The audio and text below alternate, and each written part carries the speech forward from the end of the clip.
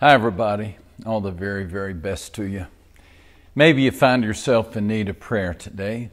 If so, just post your prayer requests right there in the comments section, and we will be praying for you. I'll consider it an honor to do so. Today, we're going to continue a series based on a, a, brand new book I wrote based on the life of Esther. It's called You Were Made for This Moment. You Were Made for This Moment. Now, if you're interested in learning more about the remarkable story of Esther, I'd like to invite you to my free online Bible study. It begins on October the 25th. You can learn more and you can sign up at maxlucado.com. Today we're going to talk about someone who was made for his moment. Less than a week after Rosa Parks refused to give up her seat on a bus to a white passenger, Martin Luther King became president of the Montgomery Improvement Association of Montgomery, Alabama. Upon Reverend King's appointment, he immediately began receiving death threats. One phone call in particular left him unnerved. He described the call in a speech Later in his life, when he recounted, on the other end was an ugly voice, and that voice said to me in substance, We're tired of you. We're tired of your mess. And if you aren't out of this town in three days, well, we're going to blow your brains out and blow up your house. King was shaken. He had to step into his kitchen to regather his thoughts. There he considered the safety of his beautiful wife, his precious little girl. He imagined the rage of the caller that awaited him, the rage that awaited him in the streets. He questioned whether the effort was worth the risk. What about you? Have you ever found yourself in a hard place, really shaken, uprooted by your situation, when the downsizing has been declared, when the division and the judgment proliferate, when the account has no cash, when the marriage has no joy, when the crib is empty, when the grave is occupied. You know, if we, if we look to Scripture, we find a story that encourages us in these unwelcome, winterish situations. Early in the book of Esther, Mordecai and Esther are in an impossible place. They were Jewish cousins, you'll remember, living in Persia. They concealed their Jewish identity to adapt to the Persian way of living. So far, the plan seemed to be working out. Mordecai landed a job at the king's palace, and as you well know, Esther became queen of Persia. All was going well until the news came a royal decree was sent out to all the provinces stating that the Jewish people were to be killed. Mordecai sent Esther a copy of the extermination orders. He urged her to reach out to her husband, the king.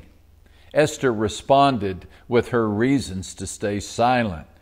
Number one, it is against the law and it's been a long time since the king gave me so much as a second look. He's, he's probably in a foul mood for sure. He'll probably kill me. Mordecai gave her reservations some thought. And then he sent a message with what are some of the most profound observations that you'll ever read in the Bible. Yes, Mordecai the Jew became Mordecai the theologian. He said these famous words do not think that because you are in the king's house, you alone of all the Jews will escape.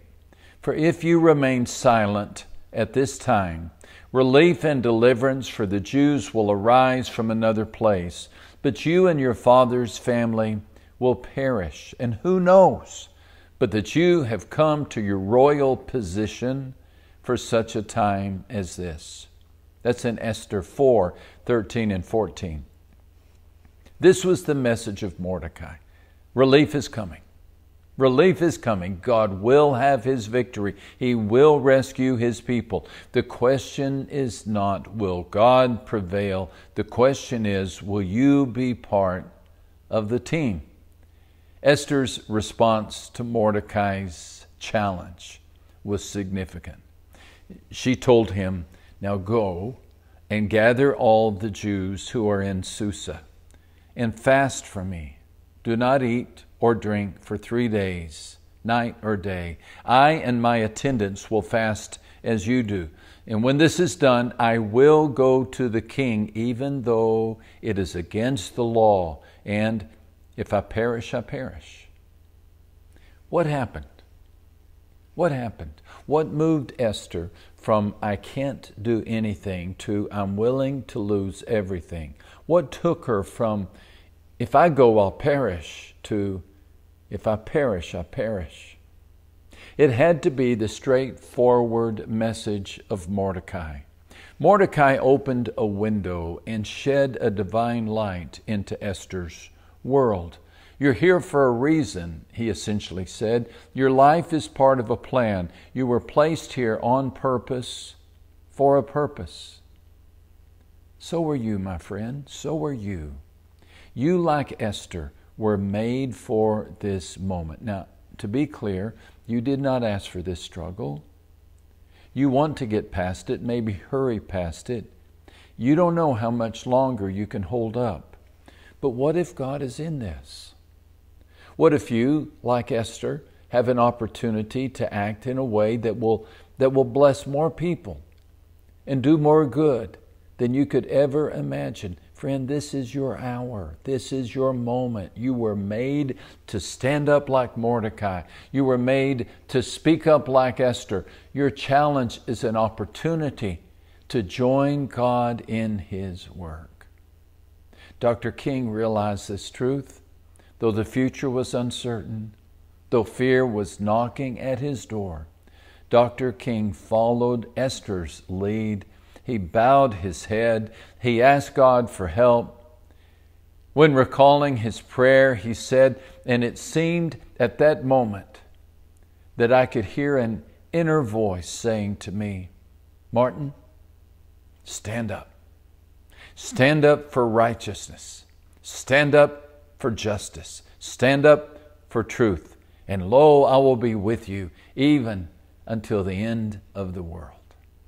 And freshly fortified, King continued the work, leaving his mark on what is arguably the most prominent movement of the 20th century. Each of our lives intersects with opportunities in which we can come alongside the work of God. We won't speak to a Persian king. Very few will lead a movement of liberty. But heaven will offer each one of us, without exception, without exception, the privilege of participating in God's holy work. When your invitation comes, my friend, may you hear the same spirit that Reverend King heard, find the same courage that Esther found, and make the same decision that Mordecai made. Relief will come. May God help you and me to be a part of it. Yes, my friend, you were made for this moment.